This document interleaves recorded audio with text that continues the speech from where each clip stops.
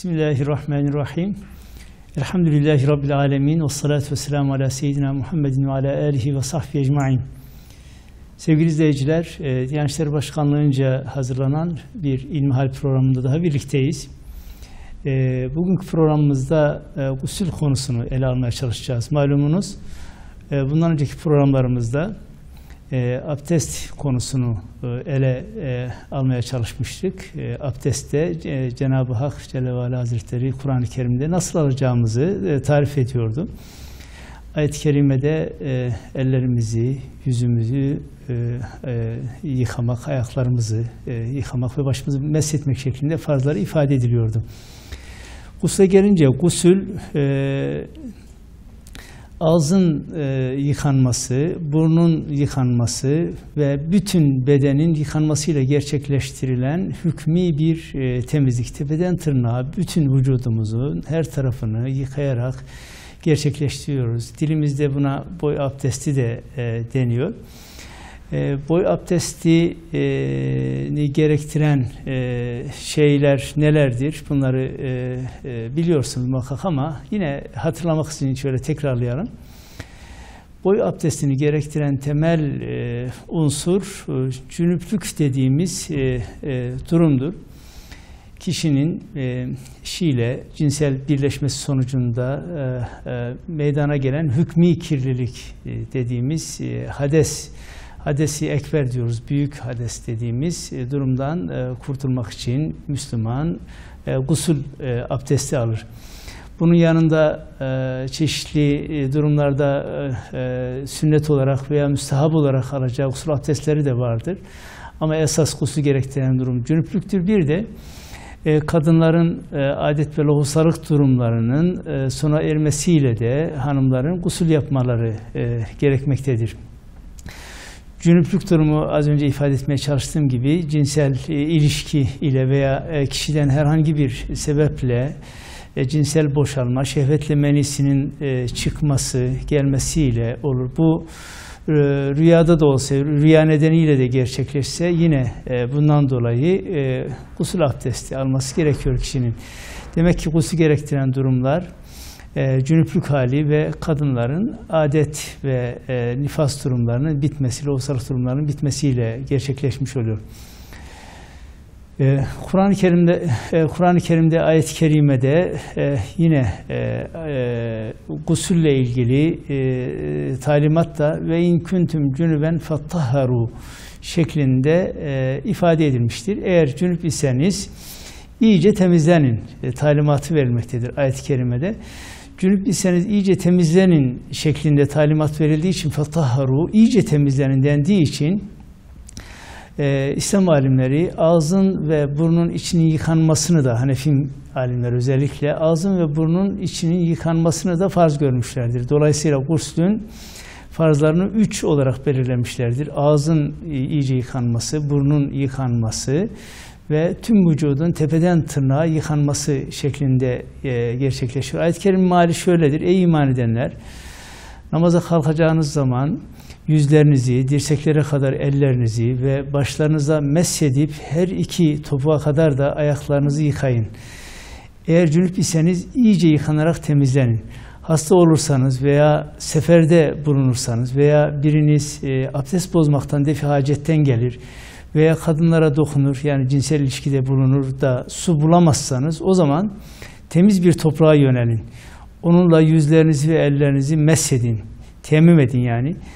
Allah size herhangi bir güçlük çıkarmak istemez. Fakat o sizi tertemiz yapmak ve üzerinizdeki nimetini tamamlamak ister. İster ki şükredesiniz. Maide suresinin 6. ayet-i kerimesi bu ayet-i kerime. Burada bu şekilde buyurmak suretiyle cünüplük halinin son, son bulması için gusül yapmak gerektiği e, açık bir şekilde e, bildirilmiştir. Bu hükmü temizlik malum, hükmü bir temizlik e, olmakla birlikte aynı zamanda maddi olarak da güzel bir e, beden temizliğidir. Guslün insan sağlığı açısından birçok yararlarının olduğu uzmanlarınca anlatılmıştır, anlatılmaktadır. Vücutta bulunan maddi kirleri e, gidermesinin yanında guslün kişiyi zindeleştirdiği, yorgunluğunu hafiflettiği, kan dolaşımını e, hızlandırdığı, ona güç kattığı ifade edilmektedir. Bunlar e, işin uzmanlarının ifade ettiği hususlar muhakkak bu hususta uzmanların söyleyeceği daha başka pek çok şey de vardır ama e, e, biz bunu Allahu Teala emrettiği için yerine getiriyoruz. Dini mübini İslam bize bunu emrettiği için yerine getiriyoruz. Bunun peşinden bir takım faydaları gelir, hikmetleri vardır. Bu hikmetlerin bir kısmını anlayabiliriz, bir kısmını anlayamayız. Onların üzerinde de elbette durur, anlamaya çalışırız. Guslün bu fiziki maddi yararlarının yanında manevi ve psikolojik yararları da vardır. Müslüman hükmü kirlilikten kurtulunca ruhi açıdan bir e, rahatlama yaşar. Ayrıca ibadet amacıyla e, yıkananlar da manen kendini daha huzurlu hisseder. Allah'ın huzuruna dururken böyle manevi bir huzur içerisinde çıkmaya çalışır. E, gusül e, hem Kur'an-ı Kerim'de açıkça emredilmiş hem de Peygamber Efendimiz sallallahu aleyhi ve sellem Müslümanlara e, Müslümanları gusle özendirmiştir. Yani zaruri olan durumların dışında da gusle özendirmiştir.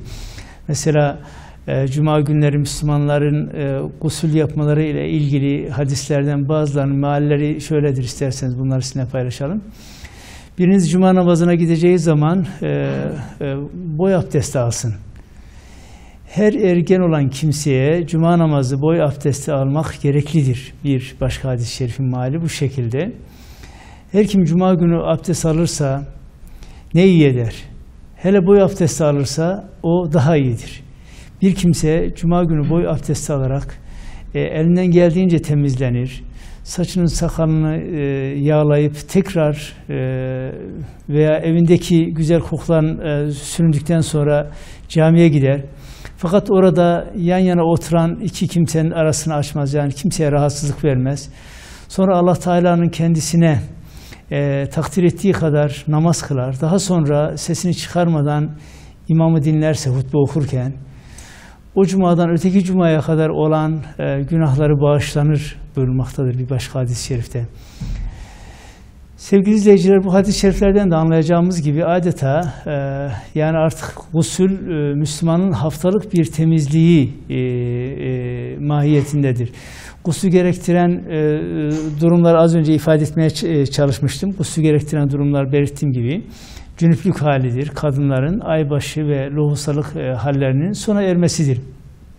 Peki cünüp olan kişiler e, namaz kılacaklarında, tavaf yapacaklarında, tilavet secdesi yapacaklarında, Kur'an'a el süreceklerinde veya Kur'an okumak istediklerinde e, gusül yapmak zorundadırlar. E, şöyle bir e, tekrarlayalım. E, namaz kılacaklarında, tavaf yapacaklarında, Kur'an-ı Kerim'e el süreceklerinde, Yine aynı şekilde Kur'an-ı Kerim okuyacakları zaman e, cünüp olan kişilerin gusül abdesti almaları farzdır. Gusül gerektiren durumlar e, bunlar, cünüp olan kimseler. Aynı şekilde kadınlar da adet ve nifas e, durumları sona erince e, gusül yaparlar. Guslün e, e, pek çok ifade ettiğimiz gibi faydaları var. E, bu faydalarını temin etmiş olurlar. Sevgili izleyiciler, e, peki Farzları nelerdir guslün? Şöyle bunu da tekrar bir hatırlayalım. E, ağzı yıkamak dedik. Bunun içini yıkamak dedik. Bütün vücudu tepeden tırnağa yıkamak.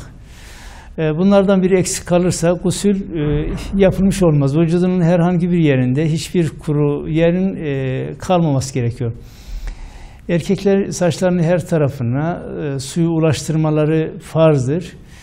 Peki Kadınlar nasıl yapacaklar? Kadınlar da bazen uzun saçlar olabilir, örmüş olabilirler saçlarını. Eğer saçlarını bu şekilde örmüşler ise, örgülü saçları var ise e, kadınların bunu çözmeleri şart değildir. Yeter ki saçlarının dibine suyu ulaştırmış olsunlar. Saçlarının dibine suyu ulaştırabildikleri takdirde o örgülerini çözmeleri şart değildir. Hani örgülerini çözüp e, yıkarlarsa daha da güzel olur ama örgülerini e, örgülerini çözmeden saçlarının diplerine kadar suyu ulaştırabiliyorlar ise o takdirde örgülerini çözmemiş olsalar da e, gusülleri yerine e, e, gelmiş olur.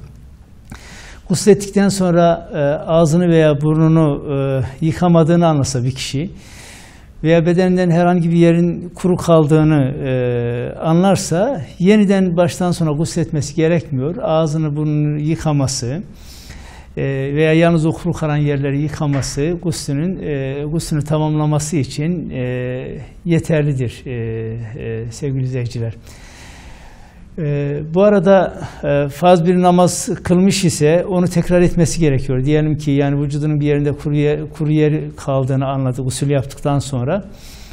E, sonra o kuru kalan yeri yıkamış ise e, o esnada da bir farz namaz falan kılmış ise o namazı iade etmesi gerekiyor. Namaz kılmış ise onu iade etmesi gerekiyor. Peki guslü nasıl e, yapacağız? Guslün yapılışını bu e, söylediğimiz çerçevede bir tarif etmeye çalışalım. Gusül yapacak olan kişi önce besmele çeker, sonra gusle niyet eder. Vücudunun herhangi bir yerinde yapışmış bir e, pislik var ise, herhangi bir e, vücudunda böyle kir, pas bir şey var ise ilk önce onları giderir zahiri olarak bunlardan bir kurtulması lazım. Sonra avret yerlerini yıkar, e, sonra da güzelce abdest alır. E, bu da sünnetlerinden birisi. Eğer gusül yaptığı yere ayaklarının dibine su e, toplanıyorsa ayaklarını gusül bitirip çıkacağı zaman e, yık, yıkar. Eğer su birikmiyorsa ayaklarını da baştan itibaren yıkayabilir. Abdest aldıktan sonra eğer suyu bir kaptan alarak dökülmek suretiyle gusül yapıyor ise o takdirde o kaptan suyu alarak ilk önce başına döker, sonra sağ omzundan, sonra sol omzundan üçer defa e, suyu dökmek suretiyle bütün vücudunu ovalayarak tertemiz yapar. Eğer e, sabun kullanıyorsa güzelce sabunlu kullanır, temizlenir.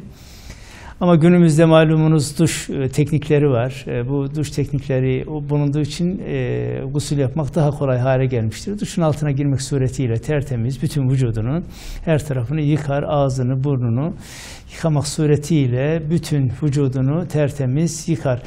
Eğer e, e, küpe e, var ise, e, e, küpe deliği var ise o küpe deliğini e, biraz böyle oluşturması lazım ki küpe deliğinin içine e, su gitmeme durumu olmasın. Orası da yıkanmış olsun. Aynı şekilde göbek çukurunu da bir yıkamaya özen gösterir. Bunun yanında e, vücudun herhangi bir yerinde e, kuru yer kalmaması için özel bir itina gösterir. Çünkü ayet-i kerimede iyice temizlenin diyor ya, bu iyice temizlenin emrini yerine getirmek için e, bu hususlarda daha bir e, dikkatli davranmaya çalışır. Sevgili izleyiciler, e, guslün e, alınışı bu şekilde. Burada tabi bazı sorular akla gelebilir. O sorularla ilgili de e, bir iki hususu ifade edeyim ben. Genellikle e, mümin kardeşlerimiz Diyanet İşleri Başkanlığı'na, Din İşleri Yüksek Kurulu'na bazı sorular yöneltirler. Bu sorulardan en çok e, e, gelen sorulardan birisi şudur. Dövme yaptıran kardeşlerimiz var bazen. Bu dövmenin abdeste, gusle mani olup olmadığını sorarlar. Öncelikle şunu ifade edeyim. Dövme yaptırmayı Resulullah sallallahu aleyhi ve sellem yasaklamıştır sevgili kardeşlerim. Dövme yaptırmamak gerekir. Çünkü e, dövme hakikaten insan sağlığına da zararlı. E, biliyorsunuz derinin altına iğnelerle bir takım boyalar zerk edilmek suretiyle bir takım şekiller e, oluşturuluyor. Sağlık açısından zararlı. Bir de Allahu Teala insanı en güzel şekilde yaratmıştır. Allahu Teala'nın verdiği şekilden daha güzel bir şekil meydana getirmek mümkün değildir.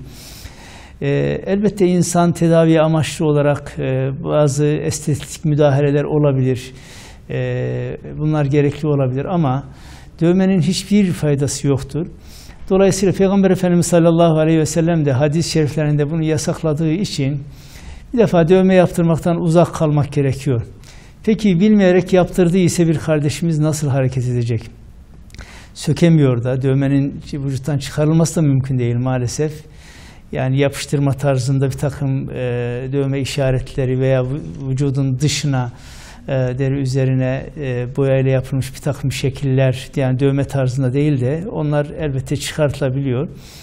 E, onlarda e, vücuda suyun geçmesini engelleyen bir durum yok ise guslemani değil. Dövme de aynı şekilde vücuda e, suyun temas etmesini, dövme yapılan bölgeye suyun temas etmesini engel teşkil etmediği için e, bu da e, gusle mani olmaz, abdeste mani olmaz. Ama abdeste mani olmaması, gusla mani olmaması dövme yaptırabileceğimiz anlamına gelmiyor. Dövmeden uzak durmak gerekiyor. Çünkü e, belirttiğim gibi Peygamber Efendimiz sallallahu aleyhi ve sellem hadis-i şeriflerinde hatta ağır bir ifadeyle e, dövmeyi yasaklamıştır. Bu bakımdan kardeşlerimizin e, elbette e, e, bazen işte sevgilerini ifade etmek için bazen başka düşüncelerle herhangi bir e, şeye karşı muhabbetlerini ifade etmek üzere böyle vücutlarına Sevginin yeri kalptir sevgili izleyiciler. Sevginin e, yeri beden, efendime söyleyeyim vücudumuz veya herhangi bir şey değildir. E, sevgi e, kalpte yer bulan ve hakikaten samimi sevgi kalpte kendini gösteren bir şeydir. O e, zahiri şekillere, efendime söyleyeyim, zahiri olarak ifadeye ihtiyaç hissettirmez. Bu bakımdan sevgisini ifade edecek olan sevgiyi kalbine yerleştirmelidir ve e, kalbine yerleştirdiği birinci sevgi de Cenab-ı Hakk'ın sevgisi ve muhabbeti olmalıdır. Onun sevgisinin yerine hiçbir şey koymamalıdır. Bütün sevgilerin kaynağı odur. E, herhangi bir insana karşı olan sevgimizi e, bize veren de odur. İstediği anda o sevgiyi de alabilir. Sevginin kaynağı odur çünkü. Dolayısıyla e, ben kardeşlerimize dövmeden e, uzak kalmalarını özellikle e, tavsiye etmek istiyorum. Ama fıkhi açıdan baktığımız zaman yani gusle, abdeste bir manisi, engeli olup olmaması açısından baktığımız zaman guslü gusle mani değildir, e, abdeste mani değildir ama belirttiğim gibi mani olmaması bunların yapılabileceği anlamına gelmez. Peygamber Efendimiz bunu yasakladıysa bunda bir hikmet vardır. Ondan uzak durmak gerekiyor. Bu vesileyle şunu e, da e, ifade edeyim e, sevgili izleyiciler. Cenab-ı Hak insanı en güzel şekilde yaratmıştır. Ah, ahsini takvim üzere yaratmıştır. Allahu Teala'nın insana verdiği şekil en güzel şekildir. Allahu Teala'nın yarattığı şekli beğenmeyerek bu kendi şeklinde değişiklikler yapmaya çalışmak. Bunlardan da uzak durmak gerekir. E, dediğim gibi ihtiyaç olabilir bazen. Hakikaten insanın gerek yaratılıştan gerek daha sonra geçirdiği bir kaza ve benzeri bir sebeple söz gelimi burnunda bir eğrilik vardır veya efendime söyleyeyim dişlerinde eğrilik vardır veya vücudunun herhangi bir yerinde e, cerrahi olarak müdahale edilmesi gereken e, bir durum vardır. Bunlara müdahale bulunabilir ama sırf böyle bir ihtiyaç yok yok iken Allahu Teala'nın e, şey kendisine verdiği şekli beğenmeyerek bunu başka şekillere döndürmeye çalışmak bunlardan e, uzak durmaya e, çalışmak gerekir. Bir mümin hassasiyetiyle bunları yapmamız gerekir. Böyle bir hassasiyet göstermemiz gerekir diye düşünüyorum. Sevgili izleyiciler, gusülü anlatmışken bir hususu daha sizinle paylaşmak istiyorum acaba ağzımızdaki diş dolguları veya ağzımıza yaptırmış olduğumuz e, sabit dişler bunlar gusle bir engel teşkil eder mi? Hayır. Bunlar gusle bir engel e, teşkil etmez. Bu hususta farklı e, değerlendirmelerle karşılaşabilirsiniz. Fakat Din İşleri Yüksek Kurulu'nun bu husustaki Din İşleri Yüksek Kurulu'muzun söylediklerine e, göre hareket etmeniz isabetli olur. Bu Usta Din İşleri Yüksek Kurulumuz e, tedavi amacıyla gerek diş dolgusu gerek diş kronu bu tür yaptırılan e, şeylerin e, gusle bir mani teşkil etmeyeceği doğrultusunda e, dini sorulara cevaplar vermektedir.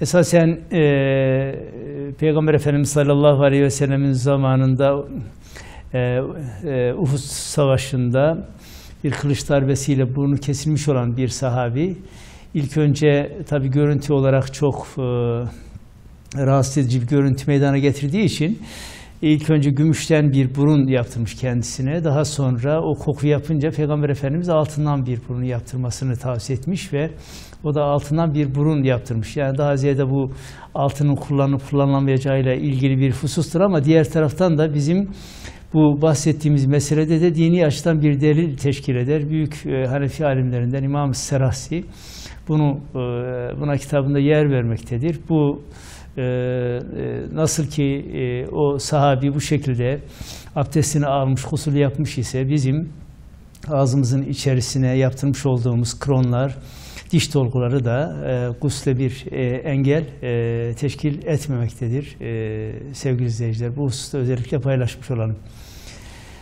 Sevgili izleyiciler, e, e, bu tepeden tırnağa e, vücudumuzu e, yıkıyoruz, e, ağzımızı yıkıyoruz, burnumuzu yıkıyoruz. Bu şekilde e, guslümüzü almış oluyoruz. Peki, e, gusül e, hakikaten bir maddi temizliğinin yanında e, başka bir anlam var mı? Simgesel olarak da manevi açıdan da bir takım anlamlar taşıyor e, gusül. E, kişi gusülde bütün vücudunu tepeden tırnağa yıkıyor. Adeta bütün vücudunu yıkarken uzuvlarıyla işlemiş olduğu günahların e, gusül suyuyla birlikte akıp gittiğini, günahlardan bu şekilde sıyrıldığını e, hissederek gusül abdesti alır. Adeta içerisindeki bütün kötü düşünceleri, e, yani insanın içini yıkamak mümkün e, olmayacağına göre böyle bir anlamı da var, simgesel bir anlamı da var guslün. Dışarıdan yıkamak suretiyle içimizdeki bütün kötü düşünceleri, uzuvlarımızla işlediğimiz bütün günahlarla bize hasıl olan o günah kirlerini de e, gusül yapmak suretiyle bunlardan da adeta e, sıyrılmış, e, temizlenmiş oluyoruz. Böyle de e, simgesel bir e, anlamı da vardır. Nitekim yeni Müslüman olan e, bir kişi de e, Müslüman olduktan sonra gusül yapar. Bunun iki e, anlamı vardır. Birisi daha önceden cünüplük hali falan vardır kendisinde. Bu cünüplükten dolayı e, e, temizlenmiş olur. Ama e, bir diğer anlamı da daha önceki hayatında, İslam'ın dışında yaşamış olduğu hayattaki bütün günahlarından, kirlerinden e, sıyrılmış olduğunu, hayatında tertemiz bir sayfa açtığını simgelemek üzere e, böyle bir kişi de e, e, gusül e, yapmış oluyor. Sevgili izleyiciler, guslü gerek işte e, bugünkü yaptığımız gibi banyolarımızda, duş altında yapabildiğimiz gibi diyelim ki herhangi bir e, yani gusül yapması gereken bir Müslüman e, denizde veya göle, suyun içerisine dalsa çıksa e, ve ağzını da burnunu da yıkasa bu guslü tamamlanmış olur mu? Elbette bu şekildeki bir hareketiyle de guslünü tamamlamış olur. Suyun içerisine tamamen dalar çıkar. Vücudunda hiçbir kuru yer kalmaz. Peşinden de e, ağzını burnunu yıkar, yıkar ise o kimsenin guslü de e, tamamlanmış olur e, e, sevgili izleyiciler. Günlük hayatımızda bizi en çok ilgilendiren e, ibadetimiz malumunuz namazdır. Namaz için e, e, beş vakit abdest alıyoruz. Elbette abdestini muhafaza eden, muhafaza eden insan bir abdestle birkaç namaz kılabilir. Ama e, zaman zaman da gusül gerekiyor. E, gusül de almak suretiyle gusül gerektiği zaman e, sıkça hayatımızda uyguladığımız bu ibadetin hem manevi hazzını e, yaşamış oluyoruz hem de maddi açıdan bizim için bir temizlik teşkil etmiş oluyor. Bunun için farz olan guslün yanında yani namaz kılmak için, işte efendime söyleyeyim tavaf yapmak için, Kabe'yi tavaf etmek için, Kur'an-ı Kerim okumak için, Kur'an-ı Kerim'e el sürmek için e, e, cünüp olan kimselerin veya adet ve nifas durumları sona, sona eren hanımların gusül yapması gerekiyor. Bunlar farz. Ama bunun dışında bir de Peygamber Efendimiz sallallahu aleyhi ve sellemin bizi teşvik ettiği sünnet olan, müstahap olan gusüller de var. Mesela işte az önce hadis-i şeriflerde arz etmeye çalıştım. Cuma namazı için alınan gusüller, Cuma günü e, çünkü toplum içerisine çıkacağız, diğer insanlarla birlikte olacağız. E, Cuma'ya giderken, e, toplumun içerisine giderken bu şekilde e, gusül yapmamız, e, bir takım e, ter kokusundan ve benzeri kokulardan falan arınmış olarak toplumun huzuruna tertemiz e, bir vaziyette çıkmak için bu önem arz ediyor. Aynı şekilde bayram namazlarına giderken e, e, gusül e, yapılması, yine e, ihrama girerken e, gusül yapılması, hatta işte gerçi günümüz şartlarında çok zor ama işte Arafat'ta vakfaya dururken gusül yapılması gibi çeşitli vesilelerle yapılan gusüller de sünnet ve müstahap düzeyde e, yapmamız e, yapmamız talep edilen e, uygulamalardır. Cenab-ı Hak cümlemize e, tertemiz yaşamayı, tertemiz kalmayı, madden ve manen e, tertemiz olmayı nasip eylesin. Hepinize e, sevgili izleyiciler, e, hürmetle ve saygıyla selamlarken Cenab-ı Hakk'ın e, içimizle, dışımızla tertemiz bir hayat nasip etmesini niyaz ediyorum.